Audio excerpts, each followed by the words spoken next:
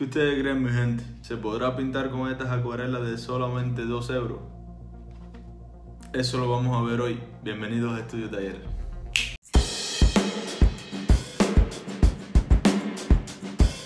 Saludos mi gente, bienvenido una vez más a Estudio Taller.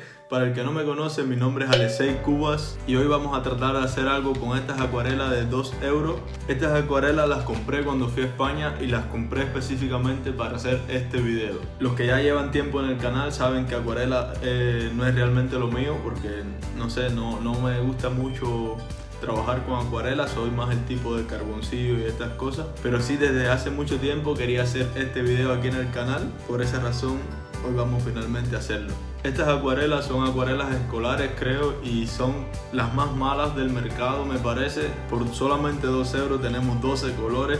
No creo que sean muy buenas para pintar, pero sí algún resultado deben de dejarnos y eso es lo que quiero comprobar hoy aquí en el canal. Quiero ver si al menos nos sirven para practicar un poco, ¿no? Si puede cumplir alguna función estas acuarelas, porque si no están hechas por gusto, ¿no? aunque creo que pintar con esto será realmente un reto muy muy grande, pero vamos a intentarlo de todas formas mi gente. Así que sin más nada que hablar, vamos a pintar. Los materiales que vamos a utilizar para hacer este trabajo, aparte de la acuarela, serán una libreta Canson de 300 gramos para acuarelas. En esta libreta, como ven, ya he probado algunos lápices acuarelables y es realmente muy muy buena para esto. Vamos a utilizar también un lápiz 4H para hacer el dibujo inicial unos pinceles que también costaron menos de 2 euros, un papel de cocina para limpiar y secar el pincel y por supuesto agua. Como ven gente, lo primero que vamos a hacer va a ser eh, la estructura, una estructura básica de lo que queremos pintar después. Esta estructura es muy importante porque es la base, ¿no?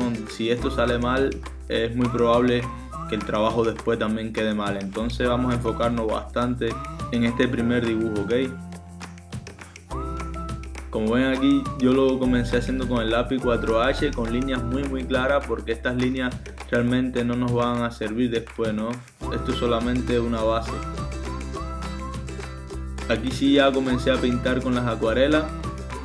Tengo que decirle que mi primera impresión no fue tan mala con las acuarelas cuando las empecé a utilizar me parecieron bastante bien, secaban bastante rápido, esto es fundamental también.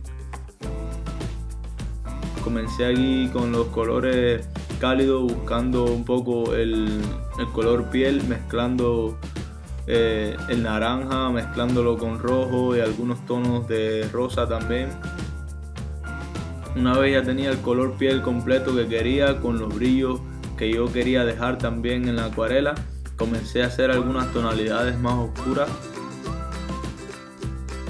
Tengo que decirle que, que no me gusta mucho utilizar el negro en las acuarelas, prefiero mezclarlo y sacar un negro mezclado por mí mismo.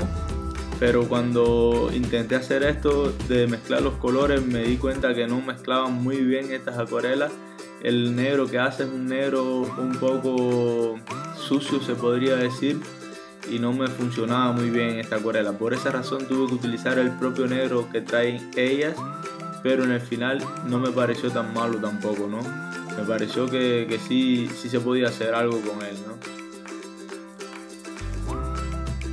Un consejo que les doy para trabajar con este tipo de acuarela es esperar que seque la acuarela con esta y con todas, ¿no? La acuarela realmente yo creo que, se necesita esperar que se seque e irla trabajando poco a poco, capa por capa, así nos da este efecto de acuarela que es realmente muy muy lindo cuando lo sabemos utilizar, cuando lo sabemos hacer.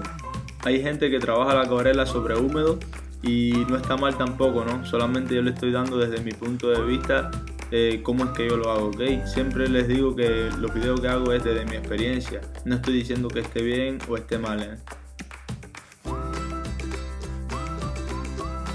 si ya has trabajado con este tipo de acuarela, seguramente sabes que el problema fundamental está al final del dibujo cuando ya está seco, porque por la mala calidad del material tiende a, a perder color, ¿no? Pero para esto yo encontré una solución y es fijarlo con un fijador para dibujo. Vas a ver que te crea un brillo bastante parejo, muy muy parecido a una acuarela profesional.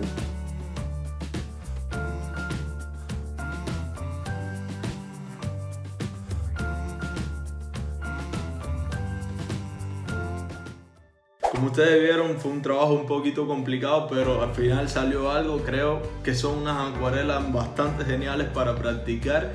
Cuestan solamente 2 euros, son muy, muy baratas realmente, comparada con las acuarelas profesionales, por supuesto.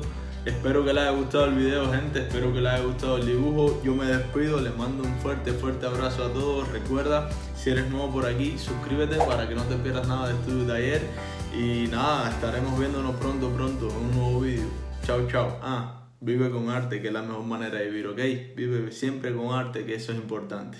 Ahora sí, nos vemos en el próximo video. Chao, chao.